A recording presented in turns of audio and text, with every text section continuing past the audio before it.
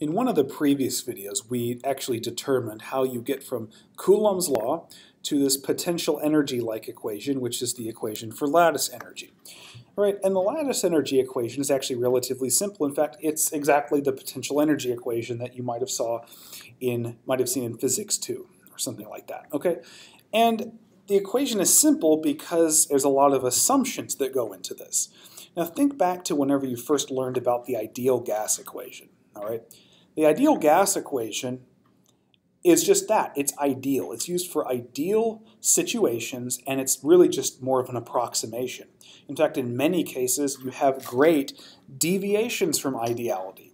Because in reality, nothing really behaves ideally. It behaves in a real way because this is reality, right? So anytime you have real gas equations, like the van der Waals equation of state, the equation becomes a lot more complicated.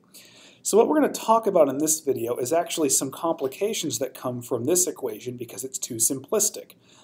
And that's going to lead us to talking about real lattice behavior. And we're going to talk first about the Madelung constant. All right. So hopefully what you see up here at the top right is you have at least part of the expression for the lattice energy. E is equal to A times Z plus times Z minus divided by D, the interionic radius. However, they've thrown in this constant m, and that's what's referred to as the Madelung constant. Now, the Madelung constant, what it is, is it's a, it's a proportionality constant, or factor. And one thing that we have to realize is, and this goes into uh, this uh, constant and also the next thing called the Born exponent that we're going to look at. There's an assumption that goes into a lot of um, equations, including the ideal gas equation, and that's that atoms are simply just hard shells. They're just spheres that take up a certain amount of space, and they don't compress, they don't extend, um, they're just there. They're just hard shells, and they, and they have sort of a constant charge throughout them. Well, hopefully what we realize is that by now, the charge is not uniform throughout the sphere. Okay? We have different orbitals that have electrons in certain places, and so there's actually different geometries to where the charge is in the atom. And so the Madelung constant deals with attractive forces, okay? It takes into account any attractive forces that that cause deviations because of the geometry of the interactions, okay? The way I would think about it, just conceptually, is certain orbitals, like d orbitals, for example, have different geometries where electrons are not in a certain place in the sphere. They're only in a certain area. And so that can cause problems and deviations from ideality. The Madelung constant helps to fix that, and the, all the Madelung constants are tabulated in these tables. So if you need to figure out what the Madelung constant is, you just figure out what crystal structure you have, and there's a Madelung constant that goes with that. So if we had a calcium fluoride crystal structure, we would use the Madelung constant 2.52. And these are tabulated, and your instructor will probably provide you with those on the exam. And they're experimentally determined. So if I want to, uh, to uh, take into account the attractive forces that are due to sort of uh, differences in geometry between the different interactions, I use the Madelung constant. Unfortunately, this does not take into account repulsive forces and other deviations due to that. So for that, we have to do something a little more complicated, and that's by using the Born exponent. All right, so this term right here, this is the repulsion, um, at least the lattice energy con contribution due to the repulsion. It's equal to B, which is just a constant, divided by d to the n, where d is the interionic distance and n is the Born exponent. All right. So one thing that I mentioned is that in a lot of um, equations that you have, there is an assumption that atoms are just hard shells. They don't compress, they don't extend, the charge is uniform throughout them, etc., etc.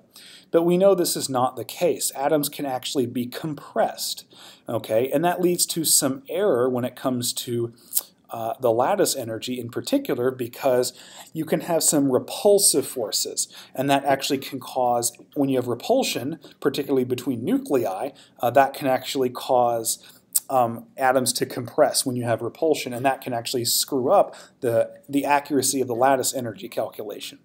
So what we're going to do is we're going to determine something called a Born exponent. And the Born exponent n is based on the principal quantum number of the outermost electron.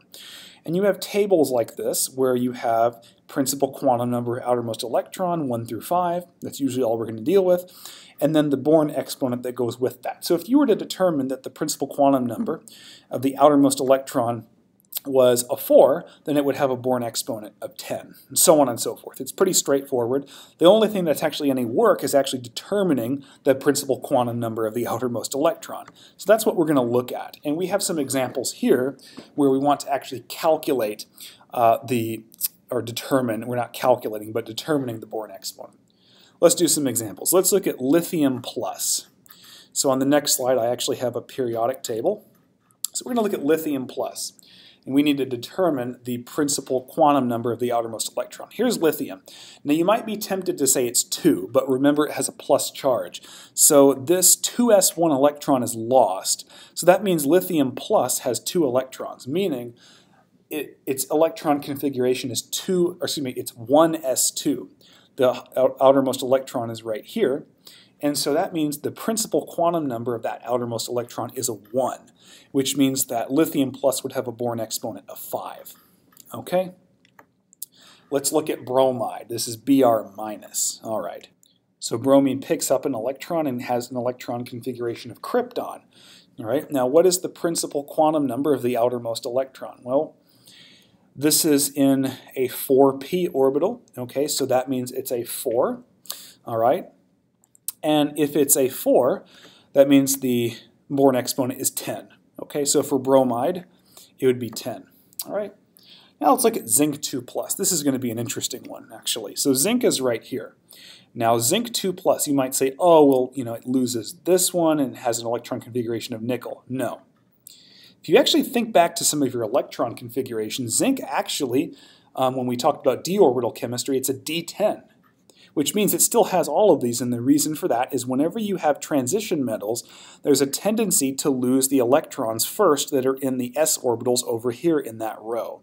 So when you have zinc 2 plus, it's going to lose these two, meaning it's going to have its electrons in the, these d orbitals. So it has no 4s electrons. It's all going to be in the uh, with a principal quantum number of 3. Okay, so for zinc 2 plus, its principal quantum number of the outermost electron is going to be 3 because it lost the 4s2, both of them, and so its Born exponent is going to be 9. Okay, let's look at oxide, O2 minus. So here's oxygen. It's going to pick up two electrons and have the electron configuration of neon.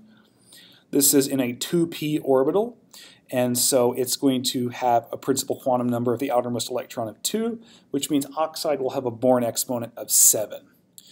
Okay?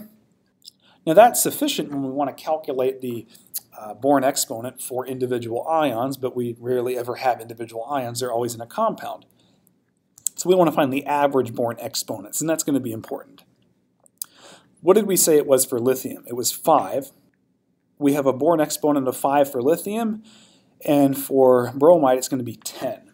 So if we want to find the average, we're just going to average 5 and 10. And it turns out for lithium bromide, that's going to be 7.5 because it's going to be 5 plus 10, which is 15, divided by 2, 7.5. Okay, let's do the same thing for zinc oxide. What did we say it was for zinc? For zinc, it lost the 4s2 electrons, so its outermost is in a 3d, so it's 3, which means it has a Born exponent of 9. And for oxide, I believe it was 2, so it's going to be, for oxide, it will be 7. So we have 7 and 9. We take the average of that. So for zinc oxide, the average Born exponent should be an 8. Okay? It turns out that, the, that calculating the average Born exponent is going to be really important because when we have a, a lattice structure that has two different ions, whenever we do the what's called the Born-Lande equation, which we're going to cover in the next video, we're actually going to need to actually, for this n, we need to take the average Born exponent of the two species in the lattice. Okay? So ultimately, let's look at this again, and then we're to, that's going to lead us into the Born-Lande equation. All right, in the next video, we're going to show an equation that shows how this is actually useful when we want to calculate um, real lattice energy or things that approach reality. and it's, that's going to be an equation called the Born-Lande equation. And the reason we went through the trouble of calculating the average Born exponents is because when we use the Born-Lande equation, we're going to, probably going to have two species in the lattice, and we actually need to calculate the average of them to use it for n. Remember, we're going to have an exponent of n, so we're actually going to have to calculate the average Born exponent. And we're going to cover the Born-Lande equation in the next video. Make sure to like this video and subscribe to the channel for future videos and notifications. Thank you.